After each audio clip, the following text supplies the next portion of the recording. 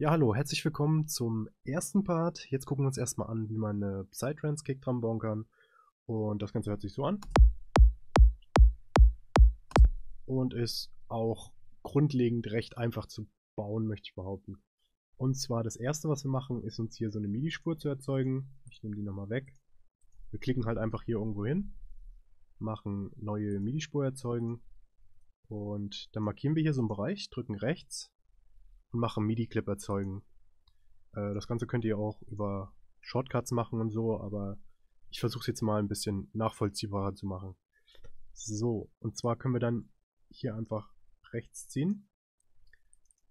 Und das bezweckt quasi, dass quasi dieser MIDI-Bereich einfach geloopt wird.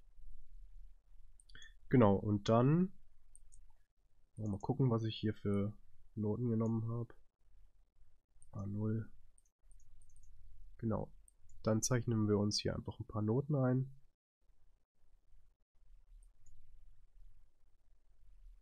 So.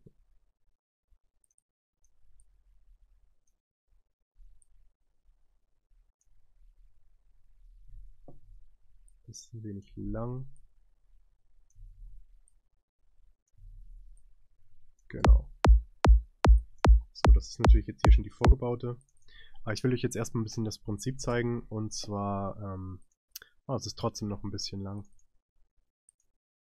Ähm, ich drücke jetzt hier mal Steuerung A für alles markieren. Wir ziehen das ein bisschen kürzer. So ungefähr. Äh, können wir nachher noch anpassen.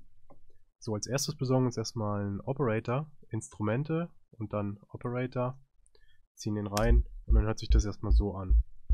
Und zwar würde ich jetzt erstmal hier so ein Scope reinziehen. Das ist jetzt kein Ableton-Plugin. Äh, ich will euch nur einmal zeigen, was da quasi jetzt aus dem Operator rauskommt. Und das ist halt quasi einfach nur eine Sinusschwingung über eine bestimmte Zeit.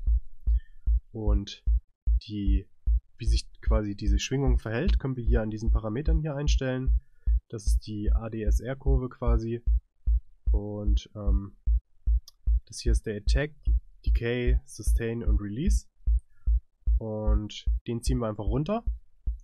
Und dann seht ihr schon, dann passt sich das an. Mal gucken, ob wir das hier noch ein bisschen besser hinkriegen. Genau.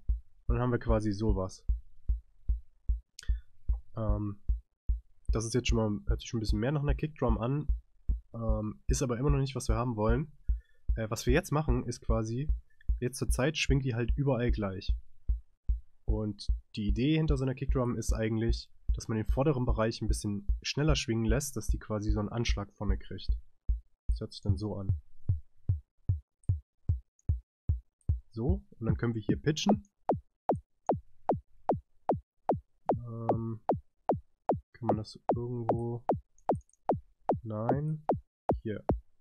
Genau. Und was wir jetzt quasi geschafft haben,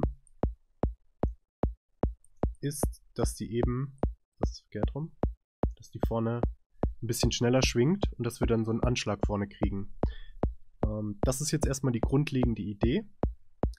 Ähm, man kann natürlich jetzt hier noch rumoptimieren. Hier könnte man jetzt die noch ein bisschen länger ziehen, die ganze Kickdrum, oder kürzer machen.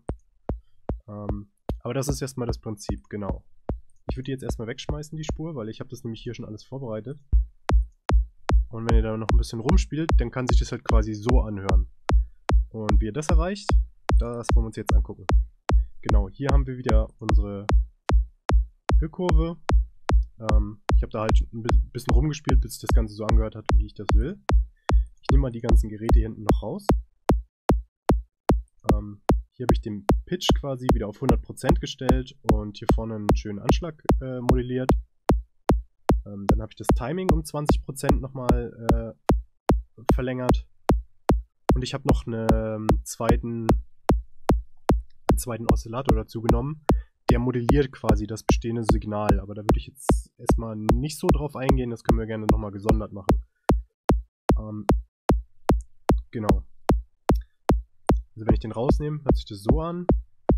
Wenn ich wieder rein, wenn ich ihn quasi wieder reinmache, hört sich das Ganze so an. So. Ähm, danach habe ich einen EQ genommen, einfach um die äh, Mitten ein bisschen rauszunehmen und ähm, die oberen Mitten, also die unteren Mitten rauszunehmen und die oberen Mitten ein bisschen reinzudrehen. hört sich das Ganze so an. Danach habe ich noch ein bisschen Feintuning gemacht, habe hier ganz unten den, den unnötigen Frequenzen rausgenommen. Und danach noch einen Multiband-Kompressor, der das Ganze halt noch ein bisschen nach vorne schiebt. Und dann hört sich das Ganze so an.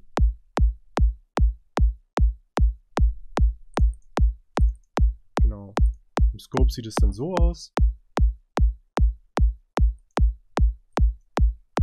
Und äh, damit ihr jetzt nicht jedes Mal hier in die, die ganze Chain rein müsst und irgendwelche Parameter suchen müsst, habe ich euch quasi hier vorne einfach das Wichtigste zusammengefasst. Das ist einmal der Klick, quasi wie, wie, wie krass das quasi oben äh, ja, klickt.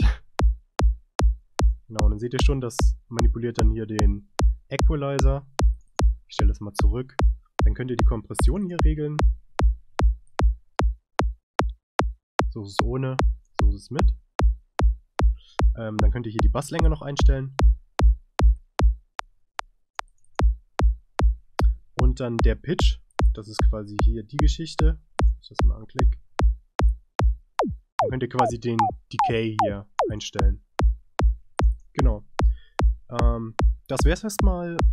Äh, es wird auf jeden Fall Fragen geben, denke ich mal. Äh, wenn ihr irgendwelche habt, schreibt es unten in die Kommentare rein und dann gehen wir in jeden Part einzeln nochmal rein. Alles klar, bis zum nächsten Mal.